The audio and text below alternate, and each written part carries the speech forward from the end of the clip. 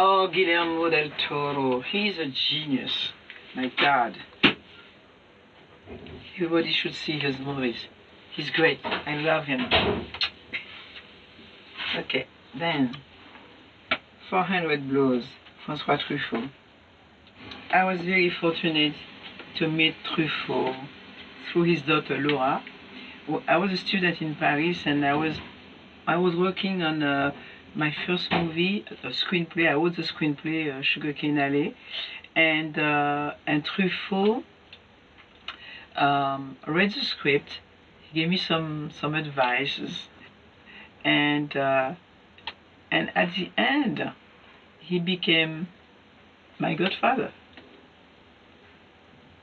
And when the movie got uh, the best film, the César for best first film in Paris, what we would call the French Oscar for best first film, Truffaut was there in that room because he was getting the César for his for all his work, and uh, I, I, I talk about it with a lot of emotion because he was really sick, and uh, and that was the last time they saw him in public because he he had a tumor and he died shortly after that.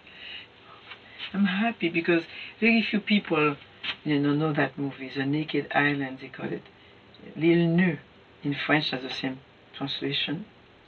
That movie has no dialogues. And the way that that filmmaker told the story with those two characters, a wife, a man and his wife on a boat, they live on an island and then they have they do the crossing to go to town to buy food, uh, water and all kind of things. And no dialogue. And it's a feature film. And you have to sit there. And and then you just like you get into that movie and not one minute you feel bored. Yes yes yes. Mr hitchcock. Alfred hitchcock of course.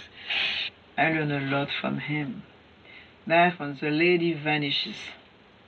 Yeah. And i remember with my brothers when we were watching a, a hitchcock movie like psycho or others you know in fact we, we used to play a game.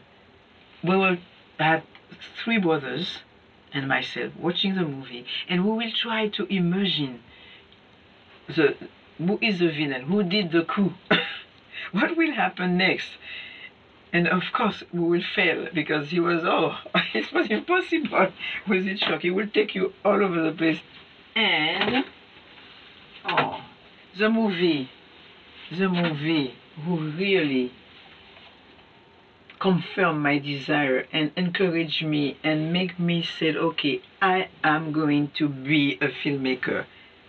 Black Orpheus, Camus, Marcel Camus.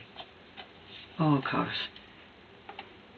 Marcel Camus, he doesn't know what he did to me. When I when I saw that film and I was a young girl uh, in the Caribbean, and that that day the theater was packed.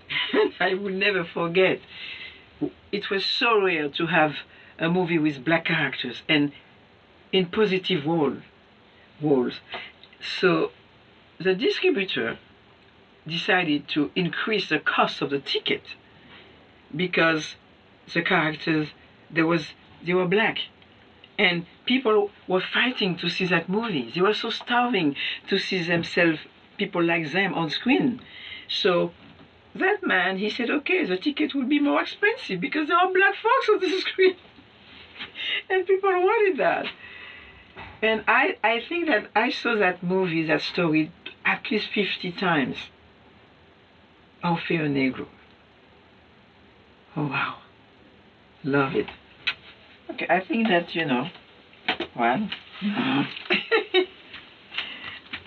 I'm going to watch all this again. Yes.